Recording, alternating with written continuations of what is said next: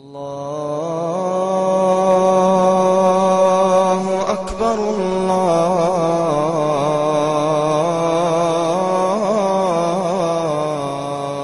أكبر dalam hidup insan bukan satu amalan dia buat ada benda orang ni dia buat lemah macam ni dosa tang ni pahala tang ni pahala tang ni dosa macam ni Tuhan timbang amalan insan macam selalu saya sebut faman saqulat mawazinuhu fahuwa fi insyatir radiyah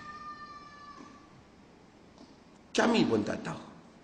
Kalau berat timbalan timbangan kita kita masuk syurga. Kurang timbangan pahala kita kita masuk neraka. Tapi kalau orang satu orang main tanya kita saya ni memang ambil rasuah tapi saya sedekah saya ada buat masjid tiga. Macam mana rasuah saya? Okey ya takkan kita nak kata rasuah hang okey. Rasuah tak okey lah. Habis masjid? Pahala masjid Tuhan timbang. Bagi pahala masjid. Masjid dengan duit ha, dengan ikhlas. Dosa rasuah Tuhan timbang dosa rasuah. Kalau berat dosa rasuah ha, masuk neraka.